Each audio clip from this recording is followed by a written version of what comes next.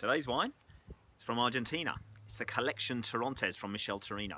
This is from 1700 metres above sea level. 1700 metres. Nothing lives up there. Just a few vines, a couple of mountain goats, and the people who go up there to hand harvest this wine itself.